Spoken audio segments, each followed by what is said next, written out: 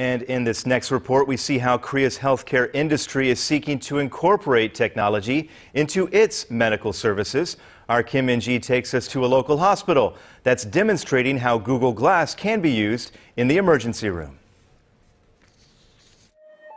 This patient has just been hit by a car and is bleeding severely from his head.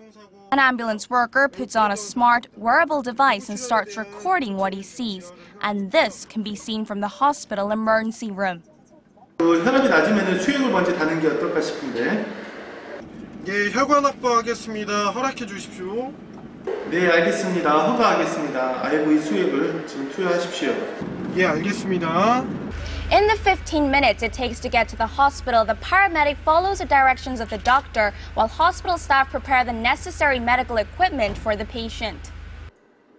It's a scene that could be from a movie but is part of a smart emergency medical service demonstration by Myongji Hospital in Goyang, the first of its kind in Korea.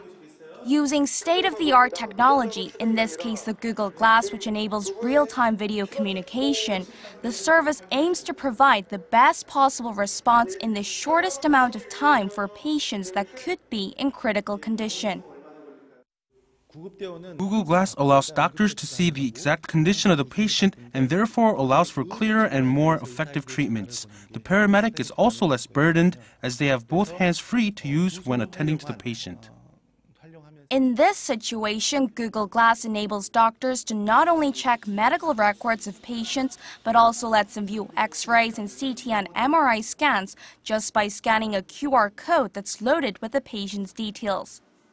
Officials at Myongji Hospital hope to later adopt the technology in all areas of the hospital, from wards and outpatient clinics to operating rooms. However, there are some obstacles they will have to clear beforehand. Not only will the system be costly to adopt, Google Glass first needs to be authorized for medical use in Korea. Security issues are another concern as the device can currently only be connected by Wi-Fi, and not all of the data exchanged may be encrypted. Kim Min-ji, Arirang News.